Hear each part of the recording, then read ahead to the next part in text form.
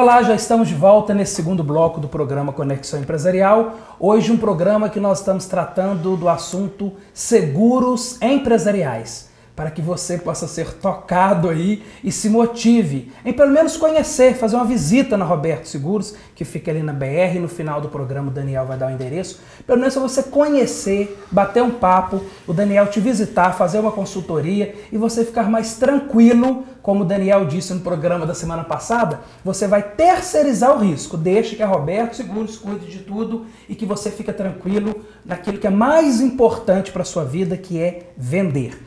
E nesse primeiro bloco nós estávamos falando exatamente sobre alguns tipos de seguros, o multirisco, alguns seguros mais importantes que se dá mais para as lojas, né, para o comércio aqui de Caratinga. E aí, Daniel, que eu queria fazer a pergunta no primeiro bloco e não deu tempo, faço nesse segundo bloco, ainda falando sobre o multirisco, sobre enchente, né, sobre os danos de efeitos naturais. Né? Acontece aqui em Caratinga, apesar de que daqui uns dois, três, quatro anos, segundo a prefeitura, os rios canalizados, eu acho, creio que não vai ter mais isso, Se né? Se Deus quiser. Mas é a maior preocupação. Em janeiro, dezembro, janeiro, fevereiro, os comerciantes ficam apavorados numa chuva. E aí, tem seguro? Que eu já ouvi dizer que não tem, mas como que é isso, Daniel? Lucas, tem. É, tem e não tem. Uhum. Porque é o seguinte, a chuva ela não traz só o alagamento, ela traz também o desmoronamento, uhum. traz um, um, a queda de uma ribanceira para dentro de um imóvel. Então, para desmoronamento, qualquer multirisco empresarial você consegue contratar esse seguro de desmoronamento, né? Para caso de, de algo cair na sua, na sua empresa. O alagamento em si, quando aconteceu aquelas primeiras enchentes, uhum. tinha cobertura para todo qualquer comércio que quisesse contratar. E apenas 5% das empresas aqui em Caratinga tinham seguro uhum. empresarial naquela época, multirisco empresarial. Então você imagina o prejuízo uhum. do povo, muita gente saiu do comércio, então é, é o que eu, que eu, volto a falar na, na, questão dos desastres naturais, o pessoal fica desesperado sem saber uhum. o que uhum. fazer. E hoje em dia, vendo que no Brasil é comum os alagamentos, porque nosso poder público ele, não é, prioriza a prevenção, uhum. o que está sendo diferente, né? Que o nosso uhum. poder público agora, igual o Lucas falou, está canalizando. Mas é, o, as seguradoras vendo isso, elas é, aceitam certos tipos de risco e recusam certos tipos de risco. Uhum. Por exemplo, é, riscos como eletrônico e miudezas, armarinho, essas coisas, não tem cobertura para uhum. alagamento em específico. Tem cobertura para vendaval, para granizo, para é, desmoronamento, mas para alagamento em específico não. Uhum. Por quê?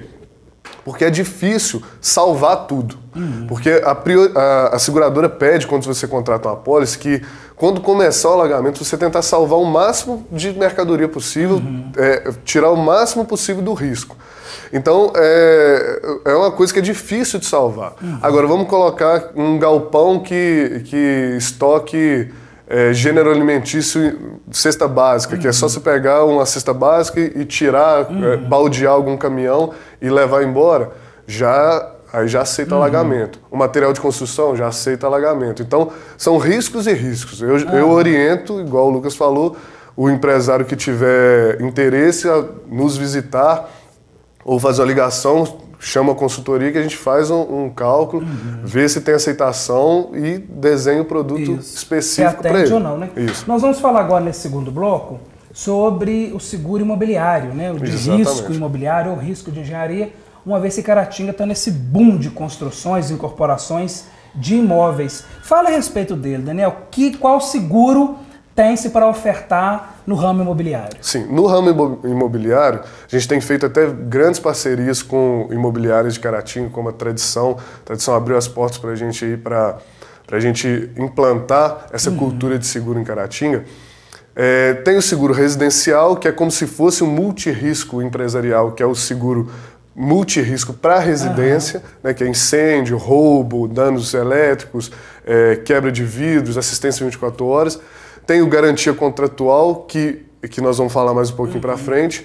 E tem o que eu acho o mais importante com esse, esse boom de construção, que é o risco de engenharia. Uhum.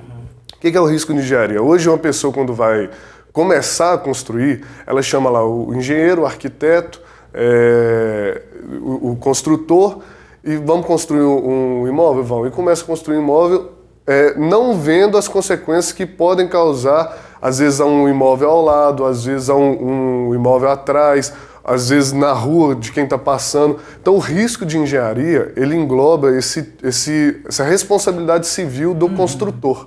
Você vai construir um imóvel, você contrata um risco de, de engenharia, ele tem coberturas desde erro de projeto, de roubo de equipamento, de roubo de material de construção, de acidente de funcionário, de pedreiro, de pintor que estiver fazendo o trabalho, até responsabilidade civil se cair algum equipamento numa casa, danificar alguma casa. Então, a, pessoa para construir um imóvel, na minha opinião, ela teria que chamar. Vamos chamar o arquiteto, vamos chamar o, o engenheiro, o construtor e o segurador e vamos ver o que, que nós vamos fazer aqui para construir esse prédio aqui, para construir sem risco.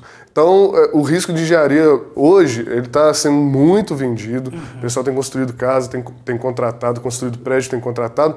E é um preço que não, não, não onera ninguém. Eu te perguntar isso agora, é caro? Não. Por exemplo, um prédio vai construir aí num valor de 2 milhões de reais. Você vai pagar em seguro de risco de engenharia em torno de 4 mil reais. Barato. Barato. Pelo risco. Pelo Porque risco. se acontecer alguma coisa, o prejuízo vai ser maior, o prejuízo vai ser de 100 mil, 200 mil. Então, é... então você contrata, isso depende muito da cobertura que você coloca, né? Uhum. Se você quer um seguro mais completo, seguro mais básico, dependendo do desenho que a gente faz do, do produto, varia no preço. Uhum. Mas em média fica em torno disso. Vamos supor, você vai construir um prédio de 15 milhões, uhum. aí é lógico que você Sim. vai pagar 20 mil reais de seguro. O que também não é caro pelo é, custo-benefício, pelo, pelo risco se adequa à necessidade da construção, Exatamente. que a pessoa precisa, né? E aí, para contratar um seguro desse, você tem que entrar em contato com a gente, que existe um questionário de risco, tem que visitar a obra ou pegar o projeto no início. É, para as obras já em construção, para quem tá, quem estiver nos assistindo, pode fazer esse seguro até 40% da obra. Então, quem interessar, pode procurar um seguro muito bom para você construir tranquilo e fazer o, o, o, seu imóvel tranquilo. Depois que o imóvel estiver pronto, aí tem o seguro residencial, aí tem o seguro empresarial, no caso se for um imóvel empresarial, e tem vários tipos de seguro que a pessoa ao comprar o imóvel já pode comprar pensando nisso também. Ô Daniel, né? a gente tinha falado antes, é, quando nós estávamos aqui no comercial, a respeito do programa do perdão. Eu estou falando tanto programa que eu falo tanto isso que eu fico a respeito do seguro do tempo de entrega. Né? A, a, a, incorporadora tem um tempo lá, dois, quatro, cinco anos, tem-se um seguro, né? Exatamente. É o que acontece muito na capital. Fala que vai terminar final 2013, termina Isso. final 2020. Então, esse é o seguro, famoso seguro de garantia contratual que está em ascensão no mercado brasileiro. Pessoa contrata um serviço, um produto ou um fornecimento de serviço, uma execução de uma obra e faz o contrato e contrata esse seguro de garantia contratual que a seguradora vai garantir o cumprimento desse contrato. Então, a gente está falando sobre, sobre os riscos imobiliários. Vamos colocar que você contrata uma construtora para fazer a sua casa. E lá no contrato você quer a casa é, de luxo, desse, desse jeito, tantos metros quadrados, assim, assim assado, no, no prazo específico. Tem todo o contrato lá especificando tudo que você, que você precisa. Procura o corretor de seguros, vai mostrar o contrato, a gente manda para o segurador e a seguradora aceitando o risco fala assim, não, eu garanto essa construtora, uhum. eu garanto o prazo de entrega deles, eu garanto a obra deles. Se eles não entregarem o, o, a obra do jeito especificado em contrato, a seguradora ela entrega para você a obra uhum. daquele, daquele jeito. Se não entregar para você a obra do jeito que está em contrato, ela te indeniza o valor que você pagou para aquela construtora, uhum. para quem executou a obra. Então, é, depois a seguradora, lógico, que vai procurar uhum. a construtora para ressarcir os danos, mas você, você, você que, é o, que é o contratante, que é o empresário, que é o, a pessoa física que está é, empreendendo, você você não colocou seu dinheiro em risco. Uhum. Então esse é o principal. Hoje a pessoa quer empreender, mas o certo de se empreender é empreender com o mínimo de risco possível. Uhum. Então, o que, é o mínimo de risco? É você assegurar por todos os lados. É. Então você vai construir uma casa, vai contratar um serviço. Tem, existe um seguro de garantia contratual, por exemplo, que é que se você pedir fornecimento de tecido para uma empresa, por exemplo, uma empresa que, do ramo têxtil, alguém vai me fornecer um tecido X. É, e aí lá no contrato está especificando que o tecido tem tantas linhas, material de algodão, tantos metros. Você manda o contrato para o segurador, o segurador aceitando o risco vai garantir esse produto.